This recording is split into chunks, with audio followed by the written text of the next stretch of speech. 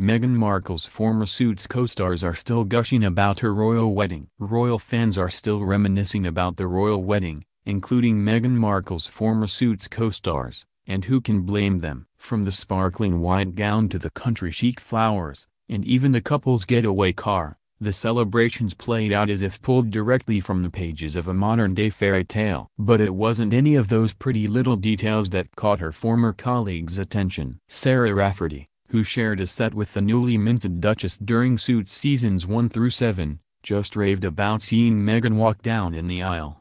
It was a wonderful moment to get to see Meghan on that day and in that moment. It was special, Sarah, who plays Donna Paulsen on the legal drama told Entertainment Tonight. Seeing Meghan walking on her own, in that moment before she met up with Prince Charles to walk the rest of the way, that was amazing. Meghan became the first royal bride to walk part way down the aisle herself in UK history, when she walked the nave of St. George's Chapel unescorted during her wedding to Prince Harry. She was joined by her now father-in-law Prince Charles for her walk through the aisle, where he then waited as she approached Harry herself rather than giving her away, again breaking tradition. It was no doubt a bittersweet moment for the brunette, whose father Thomas Markle Sr. had to pull out of the big day due to ailing health. As for Gabriel Macht, who plays Harvey Specter on the hit series, seeing Elton John perform at the luncheon hosted by Queen Elizabeth was a sure highlight. It was surprising to see Elton John play I'm Still Standing. He's still standing,